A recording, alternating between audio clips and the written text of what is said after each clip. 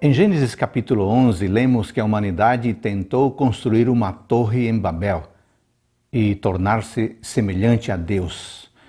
Por causa disso, foi espalhada pelo mundo em diferentes línguas.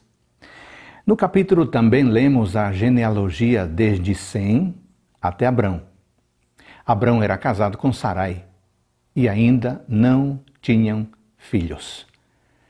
Com que finalidade essas pessoas queriam construir a Torre de Babel?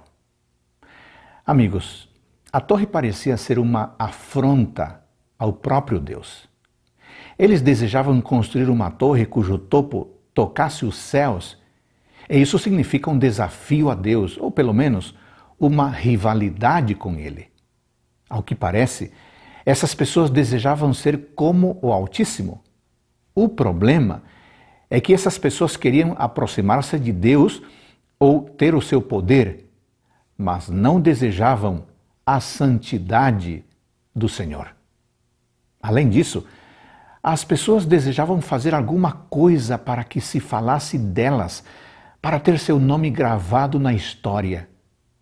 Assim, essa torre, essa torre seria um monumento do seu orgulho, da sua ambição e da sua tolice.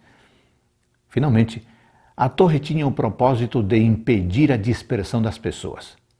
Deus ordenara que eles se dispersassem? Não, disseram eles, não, não queremos nos dispersar. Nós queremos viver juntos e nós queremos morrer juntos. Sabe o que acontece, amigos? Eles estavam medindo forças com Deus, o Senhor de tudo, o Rei dos Reis eles estavam enfrentando as ordens de Deus. As pessoas de Babel tinham se decidido a estabelecer um governo que fosse independente de Deus. Queriam substituir os estatutos divinos, que são justos, santos e bons, por leis que favorecessem aos desejos de seu coração egoísta e cruel. Amigos e irmãos, ao longo da história, Deus nunca foi contra a criatividade do ser humano? Claro que não.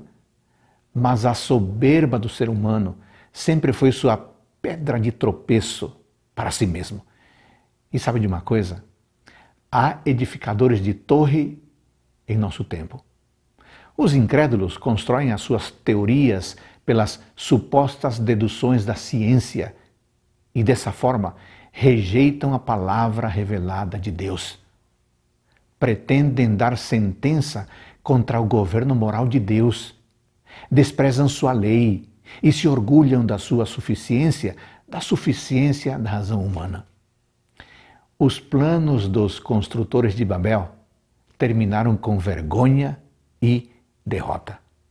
O monumento ao seu orgulho tornou-se no memorial de sua loucura. Assim será com aqueles que orgulhosamente queiram desobedecer a Deus. Você ora comigo, querido Deus?